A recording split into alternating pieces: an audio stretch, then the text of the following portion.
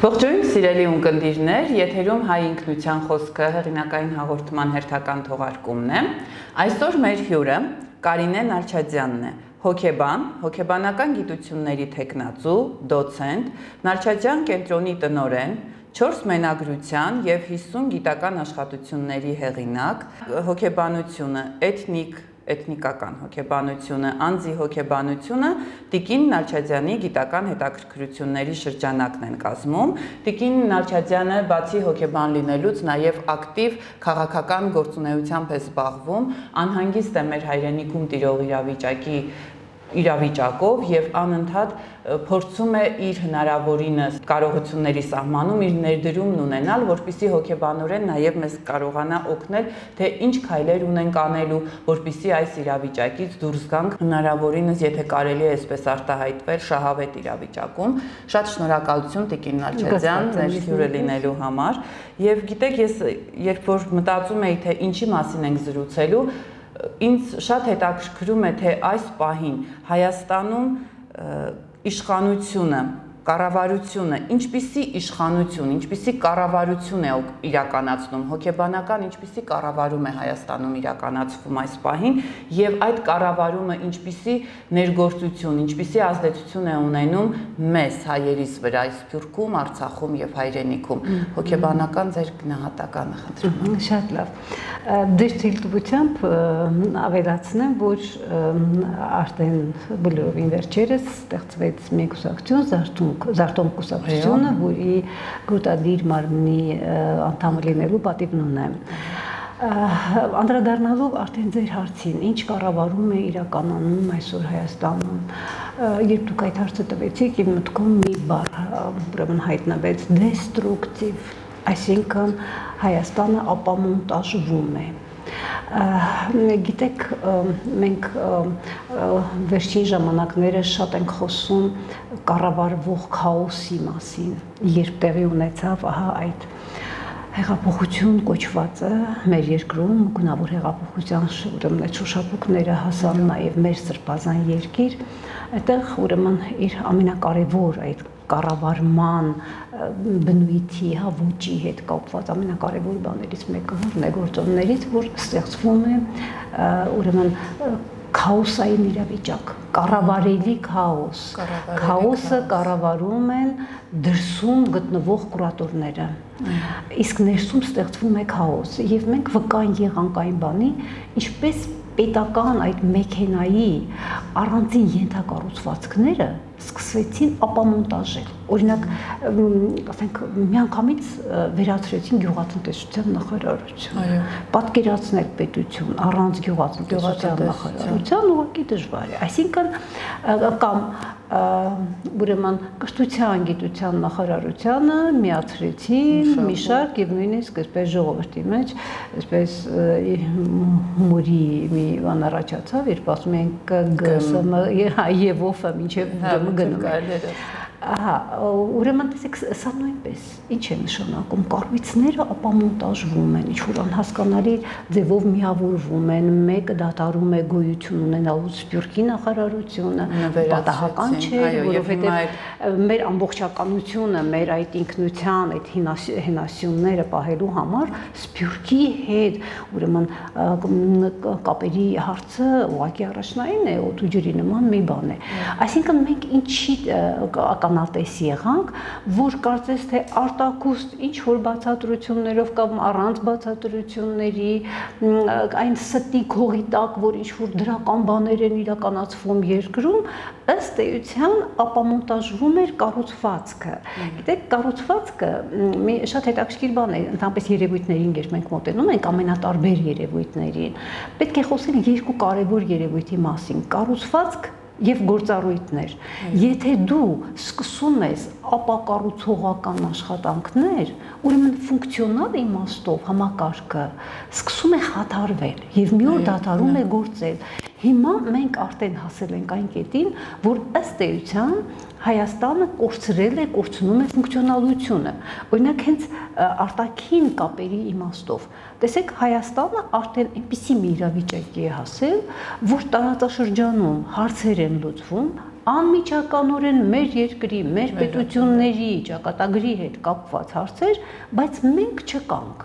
Այսինքն մենք այդ արտաքին քաղաքականության մեջ ֆունկցիոնալությունը կորցրել ենք։ Մեզ մենք պետք չէ։ Մեզ ուղղակի ցուցումներ կտան եւ նայած հա այս իշխանությունը մենք գիտենք որ հանգիստ գնում է ցանկացած ցուցման յետևից։ Ահա սա է, այսինքն կառավարման իմաստով ապակառուցողական կառավարում է, ոչ թե ապաշնոր, ես չեմ համարում, որ սա ապաշնոր է։ Սա մտածված ապակառուցողական քաղաքականություն է, որպիսի համակարգը պետությունը որպես համակարգ կորցնի իր ֆունկցիոնալությունը, կորցնի իր կենսունակությունը եւ ավաղ մենք ահա այս մեր երկրի համար, մեր հայրենիքի համար այս շատ դաժան ժամանակաշրջանի ականատեսն ենք ովը կան։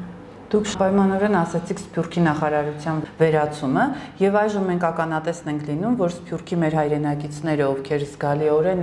ավանդ ունեն հայ դատի, հայկական հարցի ճանաչման համար իրենց ներդրմամբ, իրենց զգալի ավանդով նրանց դեմ հայրենիքի դռները փակվում են։ Բայց միևնույն ժամանակ մեր հայրենիքի դռները բաց են, չգիտես ինչու, եւ նաեւ Ծիծեռնակաբերդում եւ Երևանի Արքելոց թանգարանում պատմահնագիտական մեր մշակութային կոթողում տեղի են ունենում սրբապղծություններ։ Մենք ականատես ենք լինում, կարծես դիտավորյալ մամուլում անընդհատ նետվում են նորություններ, որ այսօր հայտնաբերվեց դիակ, պարզվեց Թուրքիայի քաղաքացի է, վրա երթի ենթարկվեցին երկու հոգի, պարզվեց Թուրքիայի քաղաքացիներ են, մեկը մահացավ, մյուսի կյանքը դեռ կախված է հիվանդանոցային իրավիճակից բուժում է ստանում, այսինքն եթե մենք մեր հայրենիքի դռները փակում ենք մեր հայրենիքի հիմնասյունը եւ հենասյունը, հենարանը հանդիսացող արևմտյան Հայաստանից գաղթածների անմիջական սերունդների արչև, ովքեր իրենց մեջ նաև ոչ հայրենիքում ապրելով իրենց մեջ կրում են ամբողջ ազգային արժեքները, մեր մշակույթը եւ նրանք հայրենիքի ցավը մի այլ ձևով են ապրում, քան թույլ տվեք ասել մենք իրականում կարելի ասել լիարժեք, ել ավելի լիարժեք հայեր են մնացել դրսում ապրելով Այսօր նրանց արչև մենք փակում ենք եւ փակեցինք ու վերացրեցինք Սփյուռքի նախարարությունը։ Սա ինչպես մենք գնահատենք հոգեբանորեն։ Տեսեք, ոչինչ պատահական չի։ Նույնիսկ ամենա ակնհայտ անհետեցություն թվացող գործողություններ այս իշխանությունների կողմից մենք չպիտի գնահատենք որպես ուղակի անհեթեթ։ Դրանք բոլորը ծառայում են մեկ նպատակի՝ ոչնչացնել մեր պետությունները, ոչնչացնել մեր ինքնություն։ Ոչնչացնել։ Ոչնչացնել մեր ինքնությունը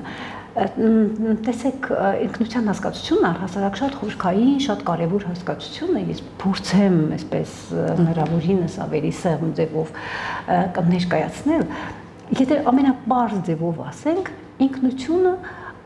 ով եմ ես հարցի պատասխանն է հա ով եմ ես հարցի պատասխանը որպես որոշակի էթնիկական հանրույթի որպես ազգի ներկայացուցիչ Հիմա բոլոր մարդկանց մեջ աշխարհի տարբեր ծագերում այդ ով եմ ես հարցը ամենաբնական, ամենակարևոր հարցերից մեկն է, որ ծագում է։ Նույնիսկ արդեն վաղ պատանեկան, հա դեռահասության տարիքում ամենակարևոր հարցն է ով եմ ես։ Եվ այդ ով եմ եսի բաղադրիչներից մեկը այն է, թե ով եմ ես որպես ինչ-որ մի հատ խմբի ներկայացուցիչ, ազգի ներկայացուցիչ։ Հիմա եթե սա այս հարցի պատասխանը չկա,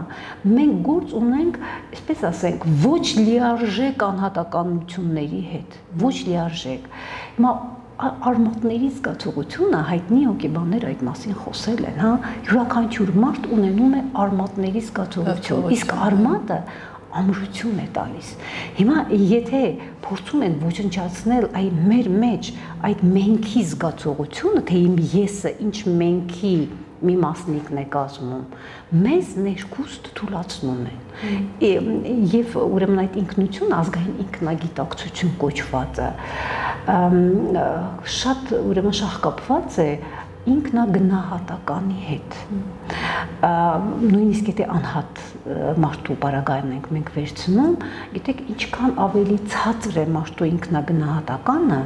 այնքան ավելի նա խեղճացած է, այնքան ավելի այսպես լուրջ կարևոր նպատակներ իր արժև չի դնի, ինքը թերարժեք է իրեն զգում։ Իսկ սա շատ կարևոր մի բան է քո կյանքը, կենսակերպը կազմակերպելու համար։ Հիմա ինչ է արվում, գիտեք, շատ բացասական մի բան եմ ես տեսնում ես դեռ սփյուռքի հետ կապին մի փոքր կանդրադառնամ, տեսեք իրավացիորեն ինչ որ չափով շատ դեպքերում հանիրավի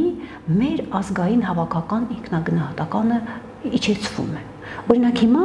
մենք այսպես իրավացիորեն դժգոհ ենք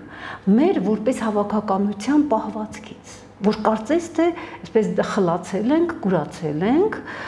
չենք տեսնում այն սպառնալիքները, այն դամոկլյան սուրը, որ արդեն իջնում է, հա, արդեն մեր գլխին, ինչ որ իմաստով արդեն իջել է, եւ կարծենք թե այսպես հանգիստ ապրում ենք մեր առօրյա կյանքով, ինչ որ մարդիկ իրենց վայելքների մեջ են, ինչ որ մարդիկ հուրասուզված են իրենց առօրյա հոգսերի մեջ։ Հիմա մենք դժգոհություն ենք արտահայտում, հա, դա շատ տարածված է վերջին ժամանակներս ժողովրդից դժգոհելը։ Այո։ Ես կրկնում եմ, ինչ որ իմաստով դա իրավացի է, որովհետև տարիներ շարունակ ժողովրդի կրթական մակարդակը, հա, գեղագիտականի ընկալումները եւ այլն, հայրենիքի նկատմամբ զգացողությունը փոխվել է, ահավաղվել է, այլասերվել է, օրինակ հայրենասիրությունը որպես երևույթ մի տեսակ վարկաբեկվել է։ Համարվել է, որ հայրենասիրությունը ինքնասիրությունը մի տեսակ այսպես գավառականության հետ են, հա, համեմատել։ Եվ այն մարդիկ, ովքեր իրենց ներսում ունեն այդ հայրենիքի նկատմամբ սերը, աշտամունքը հայրենիքի նկատմամբ, այն ուժեղ ինքնություն ունեն, հա, մենքի զգացողությունը ուժեղ է, Այս մարդիկ այսպես համարվել են, որ իրենք ավելի հետադիմական են եւ այլն։ Սրանք արդեն այն քարոշչական խայծերն են եղել, որոնք մենք ընթացքում այսպես գուլ ենք տվել, հա, մեծ մասամբ։ Հիմա ինչ վերաբերում է Սփյուռքի հետ կապերին, գիտեք ինչ, այդ մենքի մեջ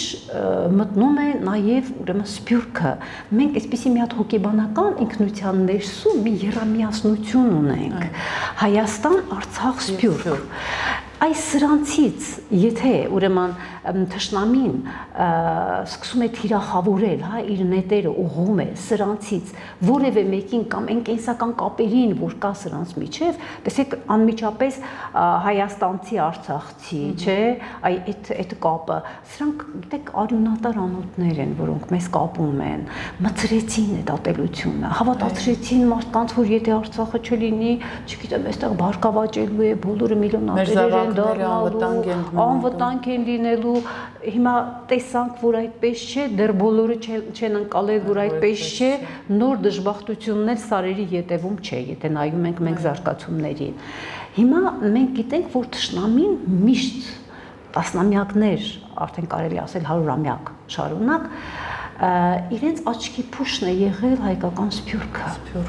Հայկական սփյուռքը, որովհետև հայկական սփյուռքի, տեսեք, մենք նույն ազգն ենք, մեր ինքնությունը նույնն է, բայց շեշտադրումները մի քիչ տարբեր են։ Սփյուռքահայի ինքնության համար կարևորագույնն է ցեղասպանության փաստը, որովհետև իրենց ճակատագիրը, իրենց գերդաստանների ճակատագիրը ուղղակիորեն կապված է դրա հետ։ Մենք Հայաստանաբնակ հայերս Գիտեք, մենք բոլոր սել ունենք, հա, մեր ուրեմն ընտանեկան պատմություններ եղերնի հետ կապված, գրեթե բոլորս։ Բայց բոլոր դեպքերում իրենք են զրկվել իրենց օջախից, տուն ու տեղից, եւ դա սերընդ թե սերունդ իրենց ինքնության բաղադրիչն է դառնում։ Հիմա երբ հարված է հասնում, կամ տեսեք ում մտքով կանցներ են, մղձավանջային երազում անգամ մենք չենք կարող տեսնել, որ գալու ենք հասնելու ենք այնպիսի մի օրվա, երբ Հայաստանի ուրեմն իշխանությունները այնպես են անելու, որ ցեղասպանության հարցը մեջտեղից դուրս գա եւ թուրքը, որ գալիս է մեր այդ սրբավայրը, հա, եւ ուրեմն մեր ամենանուրբ լարերին է, հա, կպնում մեր զգացմունքներին, մեր արժանապատվությանը եւ այս մշակութային օջախները բացելն էլ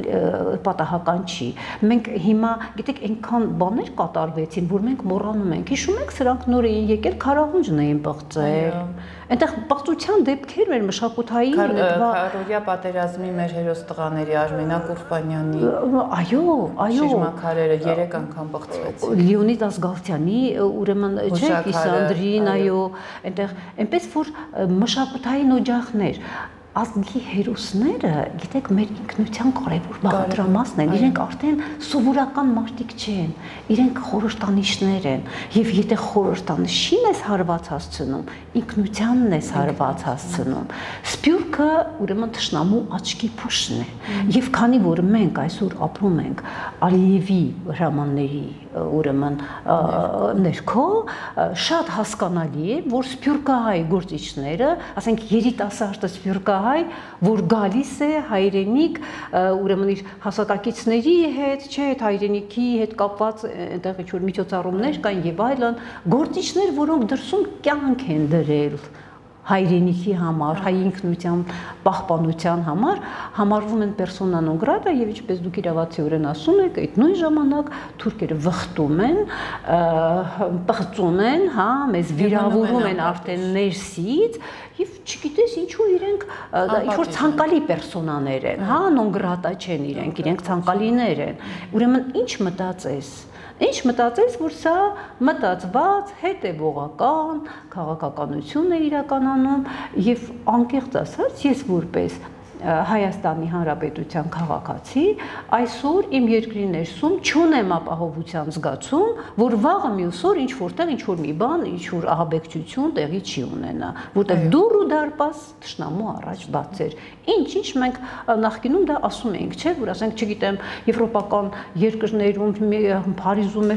լինում ահաբեկչական ակտ, տարբեր-տարբեր, հա, չգիտեմ, Լոնդոնում, որտեղ որտեղ մենք մի տեսակ ապահով էինք, ասում էինք, չէ, ինչ լավ է, մեզ մոտ այդպեսի բան չկա չի։ Անկեղծ ասած, ես այդ իմ ապահովության զգացումը կորցրել եմ։ Առավել եւս որ Ամերիկայի դեսպանատունը Հայաստանում հանդես եկավ հայտարարությամբ, իր քաղաքացիներին զգոնության կոչ արեց եւ ասաց, որ կամավորագրվեք, եթե անհրաժեշտ լինի Հայաստանում, տարբեր Հայաստանի տարբեր մարզերում մեր կամավորների հետ կապ ունենանք, որpիսի հարկ եղած դեպքում մեր քաղաքացի վիրավորներին օգնության ձեռք մեկնենք։ Իսկ Հայաստանի կառավարությունը, եթե կարելի է կոչել Հայաստանի կառավարություն, քարլռություն է պահպանում պահպանում։ Եվ հետաքրքիր է, որ այն անձինք, ովքեր ծիծեռնակաբերդը բղծել էին, դեռ չեն հայտնաբերվել եւ չեն պատժվել, բայց մեր հայրենակիցները, ովքեր ում անունները հնչելիս մենք հպարտություն ենք ունենում, այսօր մեր օթանավակայանից Զվարթնոց օթանավակայանից դեպի Երևան չեն կարող գալ, որովհետև իրենք non grata են։ Ձեր ասացի նման Ալիևի հրահանգների ներքո։ Բացի դրանից, գիտեք, այս իշխանությունները այնքան չարիք են բերել մեր երկրի ազգի գլխին, որ իրենք ունեն շատ հասկանալի վախեր հասկանալի վախեր ունեն։ Այն թուրքը, որ գալիս է եւ պղծում է դիտերնակաբերդը եւ մյուս հուշարձանները, իրենց համար սպառնալիք չէ մեզ համար է սպառնալիք։ Իրենց համար սպառնալիք չէ։ Դրա համար իրենք մատների արանքով են դրան նայում կամ էլ ինչ-որ ձևական ինչ-որ մի բան ժողովրդին ասելու համար, որ տեսեք, բավում ենք, բայց չեմ գտնում էլի։ Մեր հայկական արժեքները հնարավորինս փորձում են այս 4 տարվա ընթացքում վերացնել հերացնել մեզ մեր ազգային հայկական արժեքներից, հոգեկերտվածքից, մեր ինքնությունից եւ ինչ հետևանքներ կունենա այս ամենը մեր վաղվա հայ մարդու վրա տեսեք մեզ մոտ տեղի ունենում համատարած վիկտիմիզացիայի գործընթաց այսինքն զոհի հոգեբանության ներարկում է տեղի ունենում մարդկանց մեջ։ Առանց այն էլ գիտեք, մենք այդ զոհի վիկտիմիզացիան մեզ հետ օբյեկտիվորեն տեղի էր ունեցել Եղեռնի հայրենազրկման փաստի հետ կապված, բայց մենք ունեցանք թրիչք եւ խորհրդային Հայաստանի ուրեմն այդ գոյությունը, խաղաղ, ուրեմն շինարար այդ գոյությունը մեզ նորից մի ցակ ինքնություն ամրապնդեց, ուժեղացրեց եւ Արցախյան առաջին պատերազմը գիտեք, այսպես ոնց որ մի հատ արմատից արմատախիլ արեց զոհի այդ հոգեբանությունը, որը մեր մեջ այնուամենայնիվ մնում էր, որ թուրքը սարսափելի է, մենք չենք կարող թուրքին հաղթել, բայց մենք ունեցանք փաստեր, որ մենք մեր ուժերով այդ նույն գորժ գայլերը, որ այդպեսի այդպես հա ֆանատիկների ուրեմն ամբողջ նույնիսկ այնտեղ գորժ գայլերի դեմ էին մեր օնքա կռվել, հաղթանակներ էինք ունեցել, այսինքն այս հերոսամարտը մեր այդ վիկտիմիզացիայից մեզ դուրս բերեց բայց ահա այն ինչ տեղի ունեցավ 4 տարի առաջ դա նորից ամեն քայլափոխի մեզ բերում են զոհի կարգավիճակի իսկ եթե դու կորցնում ես ինքնությունդ արժեքներ տես կամած կամած կորցնում հա թեր արժեքություն ինքնագնահատական տեիչնում քեզ ոչնչացնելը դառնում է շատ ավելի հեշտ հեշտ է դառնում պատահական ոչինչ չկա վիկտիմիզացիայի process-ը շարունակվում է բայց փառք Աստծո տեսեք այս դիմադրությունը, մարդիկ, որ ոտքի են կանգնում, բողոքում են, արժանապատիվ կեցվածք են ընդունում, դուրս են գալիս փողոց, չեն դիմանում այս ամենին, դա վկայում է այն մասին, որ մենք ուրեմն դիմադրում ենք վիկտիմիզացիային, այն մարդիկ, ովքեր պայքարի մեջ են, Գիտեք, մենք բոլորս ենք զոհեր ըստ էության։ Եղերնի, ուրեմն զոհերն ենք, այս պատերազմի հետևանքների զոհերն ենք, բայց զոհերի տարբեր, այո, այս զոհերի տարբեր տեսակներ կան։ Կա զոհ, որը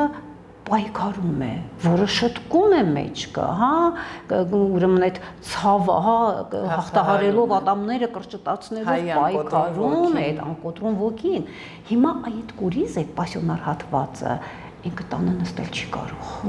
Ինքը դուրս է գալիս, չի դիմանում։ Կա զոհի ինչ որ մի կերպար, որը ավելի շատ այդ մարտնչու ինքը հասկանում է, այնքը չի ուզում զոհ լինել, բայց այդ մարտնչելու ներուժը չունի։ Ինքնագնահատականն ավելի ցածր է, վատատես է ավելի։ Եվ կա զոհի մեկ ուրիշ մի խայտարակ կերպար, որը հոգեբանորեն նույնանում է ագրեսորի հետ, դահիճի հետ, ասում է հա դահիճը շատ է լավն է, հա, ես իր հետ լավ կապրեմ, ես որ իրեն սիրաշահեմ, ես որ իր հետ լավ լինեմ, ինքը ոչ մի բան էլ չի անի, այ զոհի էս կարևորը ինձ չվնասի։ Հա, կարևորը, բայց կյանքը եւ բոլոր օրինաչափությունները ցույց են տալիս, որ իրենք հենց առաջին զոհերը իրենք են դառնում։ Մյուսներն էլ, եթե ուրեմն որևէ փոփոխություն չլինի, այդ զոհասեղանին դրվելու ինչ որ մի վիճակ է, հա, շատ խայտարակ վիճակ է, բայց ուրեմն փարկուպատիվ մեր հայրենակիցների ուրեմն այն հատվածին, ովքեր նախ պայքարում են կամ էլ դեռ չեն միացել ակտիվ պայքարին, բայց այնուամենայնիվ այլևս անհանդուրժելի են համարում այս վիճակը, որը գիտեք, նաև մեզ արժանապատվությանն է մեզ հարված մենք դրսում անգամ ուրիշների ես հասկանում եմ որ մենք մեր կերպարը նախ եւ առաջ մեր աչքին մեզ համար պետք է հա լինի ընդունելի այնպես բայց նաեւ շատ կարեւոր է թե դու ինչպես ես ներկայանում աշխարհին նույնիսկ անհատական կյանքում չէ այսպեսի հասկացություն կա հոգեբանության մեջ կոչվում է ինքնաներկայացում դու աշխարհ մարդկանց ներկայանում ես դու քո իդեալական կերպարով ես ուզում ներկայանալ, դու ուզում ես ընդունելի լինել մարդկանց համար։ Հիմա մենք ինչ կերպարով ենք, այս 4 տարի է, մանավանդ պատերազմից հետո էլ ինչ կերպարով ենք ներկայանում աշխարհին, ամոթալի կերպարով ենք ներկայանում։ Եւ այս շարժումը, այս դիմադրությունը, որ կա, հա, որ չենք հանդուրժում, նույնիսկ մարդիկ, հա, այդ, չգիտեմ, այդ տեսարանները, որ տեսնում ես անգամ, չգիտեմ, այդ ծեծը, ջարդը փողոցներում այդ նվաստացումները արհամարելով ամեն ինչ դուրս են գալիս փողոց, հա, տղամարդ, կին, մեծ, երեխա, դու արդեն ունենում ես այդ ազգային հպարտության այդ զգացողությունը, որ չի ազգս արժանապատիվ է, ուղղակի իրեն շատ ծանր հարվածներ են հասցրել։ Այո, ճիշտ է։ Իսկ հիմա քանի որ մեզ տարանջատել են Սփյուռքահայի, Արցախահայի, ես հիշում եմ մարտի 1-ին այսօր իշխանությունը զավթածը ոնց էր ասում, որ մաքրելու ենք Ղարաբաղցիներից Ղարաբաղցիներից մաքրելու են Երևանը, Հայաստանը եւ ոչ մի պատժի չարժանացավ։ Այո բայց գյումրեցիների վերաբերյալ Արմեն Գրիգորյանի խոսքերը նրա համար կյանքը արժեցան։ Եվ այսօր մենք տարանջատված ենք Սփյուռքահայ, Արցախահայ, Հայաստանաբնակ հայ։ Այս տարանջատումը հոգեբանորեն վերացնողը ով պիտի լինի եւ հանուն մեր հայրենիքի կրկին այս երամիասնության ու վերհառնման ով պետք է առաջին քայլը անի եւ ինչպես հոգեբանորեն մենք ինչ քայլերի պիտի հերթա հետևենք, որպեսզի կարողանանք այս ամենը հաղթահարել ու կրկին հայի անկոտրում հոգին հաղթի։ Մեր հայրենիքը վերականգնենք։ Իսպիսի դեպքերում գիտեք մեծ մասամ գործի անցնում եւ այս ծանր բերը խաչը իր վրա սկսում է կրել ազգի պասիոնար հատվածը, այն հատվածը, ում ազգային ինքնագիտակցությունը ուժեղ է։ Գիտեք, ազգային ինքնագիտակցությունը բան է, ազգային ինքնանոյնացում հասկացություն գոյություն ունի։ Տարբեր մարդկանց մոտ այդ ինքնանոյնացման տարբեր աստիճաններ կան։ Հա, տեսեք, մենք կարող ենք, ասենք, մի 10-15 հոգու հետ համապատասխան նույնիսկ ստուգումների ու կեբանական ստուգումների ձևեր կան, թե ինչքանով է մարդը ինքնանոյնանում, իր եսը նույնացնում իր ազգի հետ։ Հիմա տարբեր տեղերում ենք մենք գտնվում։ Մարդիկ կան առաջնային է իրենց համար ազգային ինքնանոյնացումը։ Մարդիկ կան իրենց այլ ինքնանոյնացումներ շատ ավելի կարևոր են, ազգայինը ինչ որ միտեղ ավելի հետին պլանում է, կա որ ընդհանրապես չկա։ Հիմա այն մարդիկ, ում ազգային ինքնագիտակցությունը շատ ուժեղ է, ինքնանույնացումը ազգի հետ շատ ուժեղ է իրենց հոգեկերտվածքում, այ այդ մարդիկ պիտի վերցնեն խաչը ու կրեն Պես էլ լինում է, նույնիսկ գիտեք, այսպես ինքնաբերաբար է այդպես լինում։ Առաջին գծում հայտնվում են այդ մարդիկ։ Այդ մարդիկ մեծ մասամբ, քանի որ իրենց համար մեծագույն արժեք է հայրենիքը, իրենք վախ վախը, իրենց ներքին այդ վախի զգացողությունը հաղթահարում են, որովհետև վախը գիտեք շատ բնական ապրում է բոլորին էլ բնորոշ է վախի զգացողությունը հա նույնիսկ ինքնապաշտպանական է ինչ որ չափով բայց եթե քո արժեքը այնպեսի կշիռ ունի քեզ համար որ դու արդեն չգիտեմ դա քո կյանքից, քո բարեկեցությունից, քո առօրյա հանգստից ավելի բարձր ես գնահատում, այս մարդիկ նետվում են առաջին պլան։ Ես ըստ էության խոսում եմ ազգային էլիտայի ձևավորման մասին։ Էլիտան ովքեր են լինելու մարդիկ, ովքեր ունեն ուժեղ ինքնություն, ուժեղ ազգային ինքնագիտակցություն, այս մարդկանց մոտ գիտեք ազգային ինքնանվաստացում չի լինում, իրենք ընդամենը կարող են դառնության զգացողություն ապրել, տեսնելով ինչ-ինչ անցանկալի երևույթներ իրենց, ուրեմն հայրենիքի հետ կապված, ազգի հետ կապված, ազգի առանձին ներկայացուցիչների հետ կապված եւ իրենք են որ պիտի տանեն առաջ, այ այս մարդիկ են։ Իհարկե ժողովրդի հետ պետք է աշխատել, հասարակական տրամադրությունների հետ պետք է աշխատել, դա շատ կարևոր բան է, բայց շատ կարևոր է ունենալ էլիտը եւ այդ էլիտան պիտի ունենա ծրագիր ծրագիր նույնիսկ ամենահայրենասեր մարդը առանց առաջնորդող գաղափարախոսության ինք խարխափելու է ինքը կարող է ինքնազոհաբերության գնալ առանց մեծ արդյունքների ազգային գաղափարախոսության եւ ազգային էլիտայի հարցը մնում է առաջնային եթե թույլ կտակ ազգային գաղափարախոսության մասին երկու խոսք որովհետեւ տարբեր կարծիքներ կա նույնիսկ այսպես կրթված մարդկանց շրջանակներում երբեմն նույնիսկ ես կարող եմ ասել շատ հաճախ մարդիկ շփոթում են ազգային գաղափար եւ ազգային գաղափարախոսություն երևույթները գիտեք օրինակ ասենք ասում են մենք ազգային գաղափարախոսություն ունենք Չարենցն ասել է ով հայ ժողովուրդ քո փրկությունը քո միասնական չէ միասնականության ուրեմն մեջ է հրաշալի գաղափար է, հանճարեղ գաղափար է, բայց հազար ներողություն գաղափարախոսություն չէ։ Գաղափարախոսությունը դա փաստաթուղթ է։ Հասկանում եք, դա փաստաթուղթ է, դա հերահար ռազմավարական ծրագիր է, որի մեջ արտահայտվում է անցյալից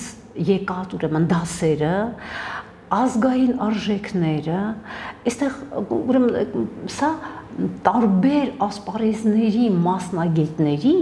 համատեղ աշխատանքի արդյունք պետք է լինի եւ պիտի դրվի սեղանին։ Դրանից պիտի բխեն մեր գործողությունները։ Մենք չունենք եւ պատահական չէ, որ հիշում եք, այդ ազգային գաղափարախոսության մասին խոսակցությունները շատ հին խոսակցություններ են։ Պատահական չէ, որ Լևոն Տեր-Պետրոսյանը հայտարարեց, որ ազգային գաղափարախոսությունը դա կեղծ կատեգորիա է, որովհետեւ ազգային գաղափարախոսությունը ըստ էության փրկարար կատեգորիա, փրկարար է, իսկ փրկություն գուցե պետք չէ։ Իրենց պետք չէր, իրենց այո։ Ես հասկացա, որ սփյուռքահայերի մեր հայրենակիցների մուտքը Հայաստան արգելվում է նաև հենց այս նպատակը կանխելու համար միգուցե։ Միգուցե վախենում են, քանի որ ուժեղ ինքնություն ունեն, կարող են գալ այստեղ ձևավորել Այո, այո, գիտեք ինչ, այսպես ես այսպես եմ պատկերացնում պատկերավոր Հայաստան, Արցախ, Սփյուռք մենք արյունատար անոթներով կապված ենք իրար հետ։ Հիմա քանի որ Արցախը եւ Հայաստանը շատ են թուլացել, Սփյուռքը իր պարտքն է համարում, այսպես կարծեք արյունը մատակարարել մեզ։ Եվ հիմա մեր թշնամիներին դա ձեռնտու չէ։ Իրենք վախենում են Սփյուռքից։ Իրենք միշտ են վախեցել Սփյուռքից։ Եվ հիմա լավագույն իրենց աստեղային ժամն է։ Իրենք լավագույն հնարավորություն ունեն իրենց դրածո իշխանությունների ձեռքով կտրել Սփյուռքը Հայաստանից։ Իսկ ինչպես են կտրում, այո, գործիչներին ներս չթողնելով, ուրեմն խաթարելով համագործակցության տարբեր տարբեր եզրեր։ Եվ սա շարունակություն է ունենալու։ Իրենք արդեն շատ բանի հասել են Հայաստանում ներսից թուլացնելով։ Հիմա մեր այդ մյուս երամիասնության, այդ մյուս սյունն էլ եթե թուլացնեն, այս արյունատար անոթները կարողանան թուլացնել, հիվանդացնել, կտրել, իրենք շատ ավելի հեշտ կհասնեն Հայաստանը վերացնելու իրենց այդ ուրեմն նպատակին, որը ի դեպ իրենց ազգային գաղափարախոսության ուրեմն շատ կարևոր կողմն է։ Կողմն է։ Այդ պանթուրքիստական այդ ամբողջ ծրագիրը, կեմալիզմը եւ այլն ըստ էության այ իրենք ունեն գաղափարախոսություն եւ տեսեք հարյուրամյակներ են անցել իրենք այդ գաղափարախոսությամբ առաջ են շարժվում օրինակ այդ գաղափարախոսության մեջ կա օգուզյանության փուլ այդպես է կոչվում այսինքն դա ինչն է արևմտյան հայաստանը ներսից իրենք մակրեցին այն ժամանակ հա հիմա արդեն եկել է այն փուլը որ իրենց այդ բանա օգուզյանություն այդ իրենց բաներն են, հա, տարբեր ցեղախմբերն են, այդ նույն Ադրբեջանի այդ Կովկասի թաթարներ եւ այլն եւ այլն, այսինքն արդեն հասել են այն փուլին, որ այ այս հարցը պիտի լուծվի։ Ադրբեջանը պատահական չի